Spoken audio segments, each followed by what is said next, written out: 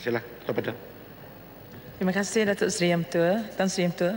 Uh, soalan tambahan saya, uh, kita lihat uh, dalam negara kita banyak lagi hasil-hasil pertanian yang dipasarkan dalam negara kita merupakan hasil pertanian yang diimport. Uh, jadi sejauh mana uh, kementerian melihat isu ini dan apakah uh, cabaran utama uh, dalam me- meningkatkan lagi hasil industri terutama penglibatan wanita ini terutama kekangan tanah-tanah pertanian yang masih di setengah tempat yang semakin berkurang akibat daripada pembinaan bangunan dan sebagainya yang menukar uh, status uh, tanah pertanian kepada tanah bangunan. Uh, dan begitu juga saya ingin tahu daripada jumlah peminjam tekun yang telah diluluskan setakat ini berapakah yang yang telah dapat berjaya dapat menghasilkan uh, petani wanita jaya? Minta penjelasan. Tan Sri Yang Dipertua, um, story ataupun cerita kejayaan wanita ini uh, banyak saya tak mahu detailkan. Nama banyak nama Ros Hafidah nama Rohaya nama sebagainya uh, tidak nafikan dari segi jumlah uh, penerima uh, pembiayaan tekun majoritinya bukan lebih pada 50% sudah wanita tetapi jumlah eh, bilangan lebih pada 50% adalah wanita tetapi jumlahnya kurang kerana wanita ramai tetapi jumlah pinjaman yang diperolehinya adalah kecil-kecil.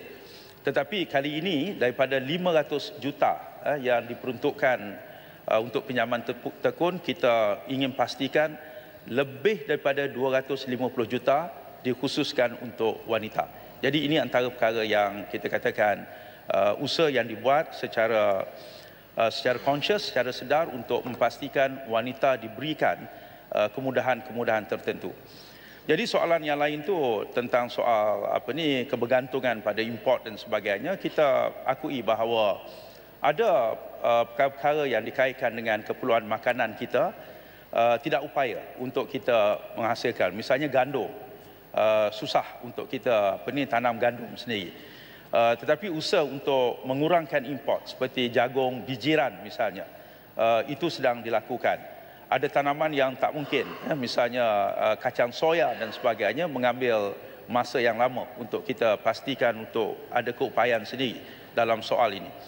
Uh, namun begitu kita juga mesti melihat ada produk-produk tertentu dalam negara kita yang boleh kita ekspor, yang boleh menjadi juara baru dalam bidang pertanian kita. Misalnya durian, ya, sebagai contohnya, uh, saya pernah sebut dalam Dewan Yang Mulia ini uh, adalah produk uh, juara yang boleh kita ekspor uh, uh, ternakan uh, ataupun uh, bukan ternakan tetapi keusahawanan sarang burung walid misalnya uh, madu kelulut sebagainya ini adalah antara perkara yang uh, boleh kita pelbagaikan dan kita juga melihat wanita turut terlibat dalam bidang-bidang ini terima kasih